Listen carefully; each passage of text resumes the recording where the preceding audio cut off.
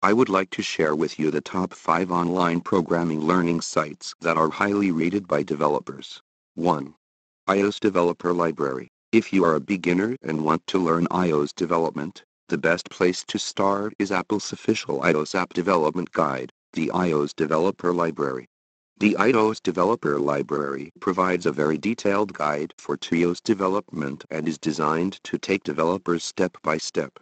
However, to access all the resources of the iOS Dev Center, you will need to register as a paid member of the Apple Developer Program. 2.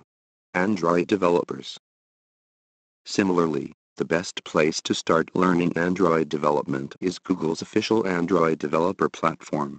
Android Developers has all the development guides, documentation, and tools a developer needs to learn how to build an Android app from scratch. You can also find all of the new Android systems, new tools, and new features announced by Google on Android Developers First. 3.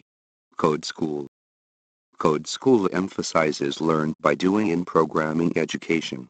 They believe that it is more important to learn by doing than by listening to lectures. 4. Scratch. Scratch is used for programming education for children. Developed in the United States, it allows you to learn visually, so you can learn programming without typing code. It is certainly for children, but adults can also learn while having fun by creating games as they are programmed. It is free to use. 5. SitePoint.